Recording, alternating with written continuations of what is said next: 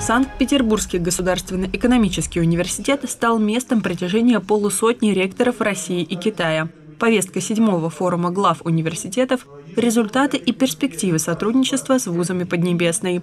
Об итогах работы рассказал и ректор СПБГУ Николай Кропачев. Эксперты СПБГУ и Министерства образования э, Китая осуществили перевод российского закона об образовании на китайский язык и аналогично законодательство Китая на русский язык. Все о том, что я сейчас говорю, это сотрудничество в рамках э, с Министерством образования.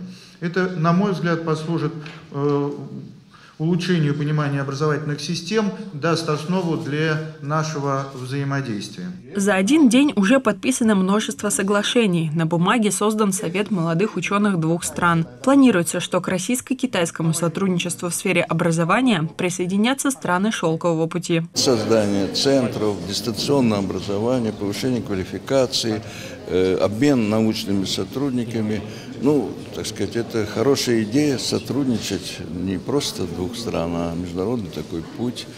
Э, тем более, что исторически есть оправдание этому пути, это старый торговый путь. Проекты в технических областях, областях больших данных, а также химии, физики нуждаются в квалифицированных кадрах, которые есть в Петербургском и Московском университетах. Необходимо воспитывать большое количество талантов и кадров, которые бы могли понимать русский язык, но не только русский язык, но и русскую речь, русскую культуру, русскую литературу. СПБГУ выпускает альманах, где публикуется современная российская проза на китайском языке. Осуществляются обмены студентов и преподавателей. Кроме того, Петербургский государственный университет гарантирует свою поддержку в вопросе создания в Китае специализированных программ с российским компонентом. Мария Полухтина, Владимир Лушин, Иван Смольников, Медиацентр СПБГУ.